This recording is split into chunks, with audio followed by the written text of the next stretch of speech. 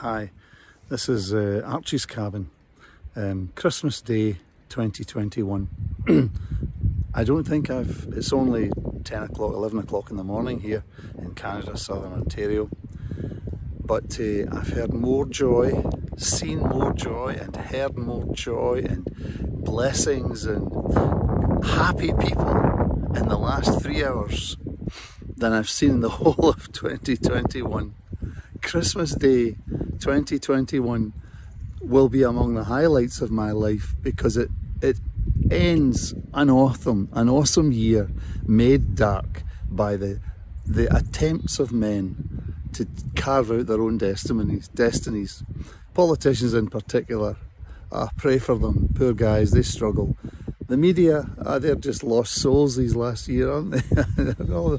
But this is Christmas Day and everybody's passing. I'm walking down, walking down this street up here. This is I live up, up over the top of that hill, and people are sounding their horns and waving at me and shouting out their windows, "Merry Christmas!"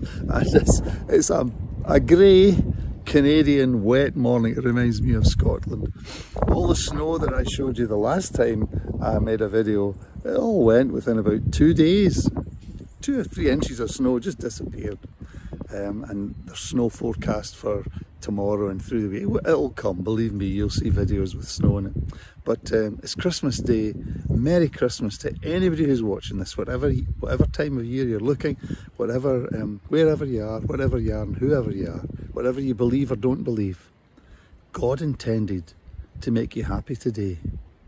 God intended to make you happy today. Can you credit that? The God you don't believe in, the God you rejected in your life because somebody hurt you or because you just thought it was fashionable when you were a young man not to believe in God. But one way or another, He wanted to bless you this day 2,000 years ago. I'm just trying to get a nice river in the background, the rivers are flooded. There's a car coming, so I'm just going to pause. God wanted to bless you today 2,000 years ago, God Almighty, the God men blame for all their troubles, so loved the world that he burst that love out and gave, sent, gave his only begotten Son, the Lord Jesus Christ, to this world to save them and to reconcile them with himself, to make peace with them to bring them joy and peace and comfort, to help them in their miseries and in their joys, to make life better for them, to bring them into contact and fellowship indeed. You know, that close fellowship with the living God, to show his face to them, to smile on them. That's what God did. This God you have no time for. And this, this God's smile 2,000 years ago, this giving of his son that brought all this Christmas cheer into the world that's here today. Because everybody's trying to emulate God today, even though they may not appreciate it. They're all trying to copy God, giving a better gift than everybody else. All trying to outdo one another, giving the best gifts they can give. And some of the gifts are given are not given with heart, but every gift God gives is given with the utmost gentle genuineness and love and care. We go around, we say, we Christians say, remember the reason for the season. Um, don't be like many other men who compartmentalise things in their life and they can shut God out one day and cry on Him for help the next. Don't be like that. Discover the reason for the season. Go read the Gospels. Read the Gospels in a good Bible, the New King James Version or the NIV or the ESV. Go read the Bible in a good in the language of your choice and hear the message of the gospel. It's the most astounding message still today the world has ever known. Today on the news I saw world leaders all set getting on edge with one another. One wants to show how strong he is against the other. You know what God did for us? He showed himself in weakness. He came into the world as an innocent, helpless baby. You know, he could have brought armies of angels. He could have rained fire and brimstone on his enemies and took his friends to himself. Instead of that, while we were still enemies, God loved us. And God expressed his care for us by coming to us while we were his enemies raining his love on us. That's the God you need to get to know. He wants to get to know you. He says, Come on, let's reason together. God says that to you. Come on, let's reason together. Let's talk about this. Let's talk about this, says God. Let's discuss this. Let's find out what the problem is and root it out and deal with it for you. God's not frightened of a discussion with an atheist, you know. I think atheists are afraid of a discussion with him.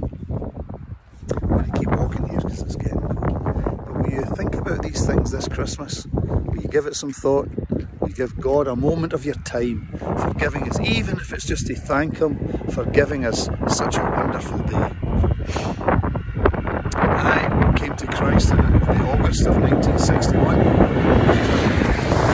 just wave Merry Christmas uh, I came to Christ in August of 1961 or thereabouts. Can't exactly remember, but what I do remember is the first Christmas that I had as a believer, brought up in a communist home. God wasn't really there very much.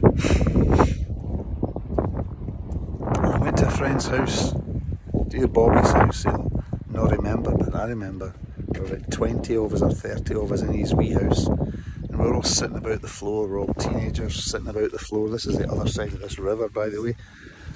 Uh, they're all sitting about the, the floor and chatting to one another and the noises, the noises kind of, you know what it's like, a bunch of teenagers get together, it's noisy, happy, it's uh, midnight and Christmas night and we're all very, very happy people and we're just, we've all come to Christ. All of us came to Christ within a few years and we're all thrilled with the, the joy of knowing Jesus Christ and the peace he gives and trying to get to know God and understand and read the Bible and search him out and discover all the wonders of the gospel. I've been doing that now for over 60 years never been disappointed. I recommend it to you, mate. If you're having a bad life, get in touch with Jesus Christ.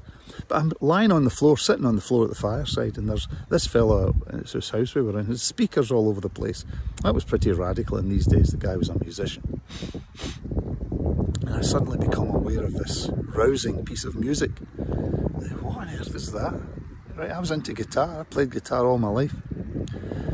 What in the world is, uh, what's that? What is, what is that noise I'm hearing? You know, it was strange noise to me. I'd been brought up in a simple home. You remember that I'm old enough to remember record players where it came out into the public domain. We had a tiny wee Dansette Major. Nobody will listen to me or remember that. But hold on, I give this guy a lift. Um, so, um, I hear this music and it was, do you know this? The only word I could describe then and now is heavenly. Heavenly music. And I thought, what am I listening to? All I knew was three chord wonders. Yeah, you know, G, D, and C. e, A, and D. Yeah, yeah, I, knew them all, all three of them. Every pop song had these three chords in it when I was a kid. And um, as a young teenager, I was listening to the Hallelujah Chorus by Handel, George Frederick Handel. Hallelujah, for the Lord God omnipotent reigneth. And I could make out these words in this classical piece of music with orchestral backing. I'd never heard anything so arousing, so thrilling, especially since I had come to Christ. And I heard the listened to the whole thing. And I, I said, Hey, what's that music? What's that music? I asked everybody, what tell me, somebody tell what is this? What is this? And the, the guy Bob came and said, That's the Hallelujah chorus from Handel's Messiah. What's that? What is that? Do you know what it is? Go find out. Go get it. Go on YouTube. Google it. Handel's Messiah. Don't never mind if you spell it right. You get dozens and dozens of calls, and all of them. Some of them are better than others. Sometimes it's just a wee group of people trying to do it, and they don't do it very well. But and sometimes you get the full, the best orchestras in the world. It is still among the best music, rated the best music in the world. George Frederick Handel, I soon got to know him, soon got to know all his music. Preferred Bach in the longer term in terms of music, but I got to know George Frederick Handel. He went through a difficult time in his composition period, in his musician's experience. He went through a difficult time. He um, found, I don't, doesn't matter what the details were, But in seeking God, he was inspired to write the story of Christ, the story of the world, the story of men in music. All we like sheep have gone astray, and the Lord hath laid on him the iniquity of us all. That's the gospel. The Lord has laid on Jesus the iniquities of us all. Will you come to Him this Christmas? I've got friends that gave their life to Jesus on Christmas Day. The Lord would like to see you.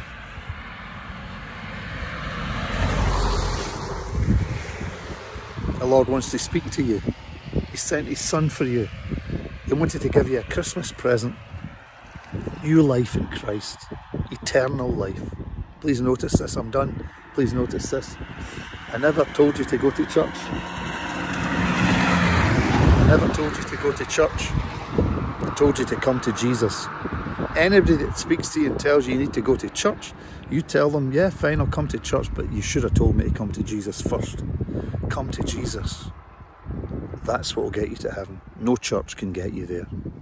But when you become, when you come to Jesus, you will find a Bible believing church prayerful church, church that loves Jesus Christ. Their name doesn't matter. It's probably going to be more old fashioned than new, but it might be new as well. Lots of wonderful churches springing up every I go to a new church, only 10 years old, 15 years old. Wonderful people, two or three hundred people in that church. Um, in a wee country town. Lots of people. My own church had over 200 people in it when I was a pastor. Grew young people, young families, old people, young people, children. We had 16 babies, I think it was 18 months or something. I tell you, churches are not what the press would like you to think about. Don't trust the press very much these days. They're, tr- they're Listen, it's Christmas Day 2021, 11 o'clock in the morning. I'm out for a walk and I'm praying that God will use this wee video to touch somebody's heart. If it if it touches you, only drop me a line, tell me you enjoyed it, tell me you were blessed by it, tell me you'd like to speak to me more, leave your number, I'll call you, I'll write to you, send me an email, I'll talk to you, communicate with you, tell you how you can find Jesus Christ. That's what Christmas is about. Being reconciled to God by his Son. The Lord bless you and make his face shine upon you this Christmas. This is Archie's cabin. Bye bye just now.